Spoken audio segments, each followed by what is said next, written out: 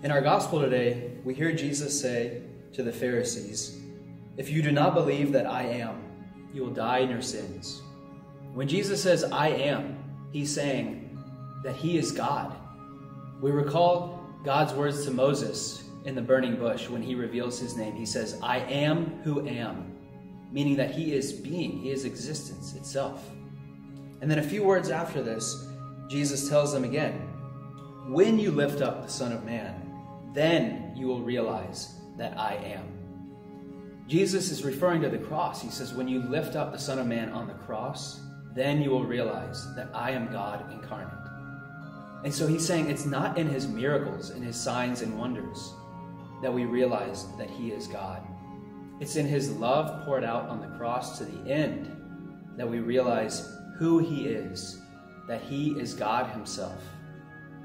And so, how does this relate to us in these days?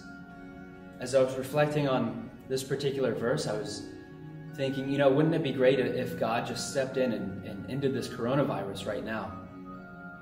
And yet, there's times that we realize who God is as we embrace the cross. And so, this is an invitation for our whole church and for the whole world to embrace God in the uncertainty and in the struggle, and to realize that His power is made perfect in our weakness.